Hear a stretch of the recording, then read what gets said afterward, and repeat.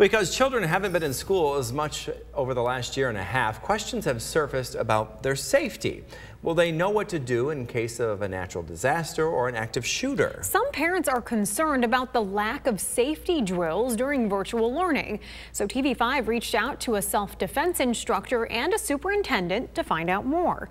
TV5's Frank Turner has this story.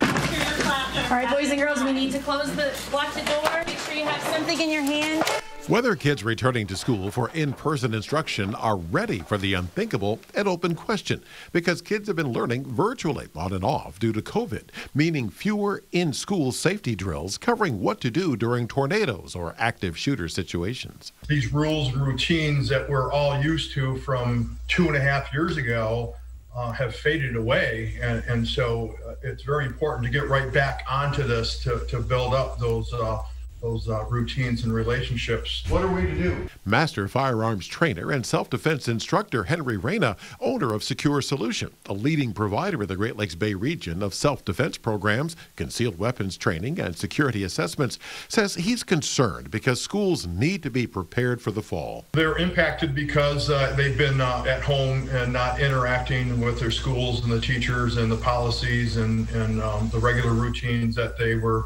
uh, enjoying prior to COVID 19. One of the things we're fortunate at Hemlock Public School District is we were in session for most of last year. Hemlock School Superintendent Don Killingbeck says, at least in his district, plenty of in person classes have perfectly positioned his schools in a state of perpetual preparedness.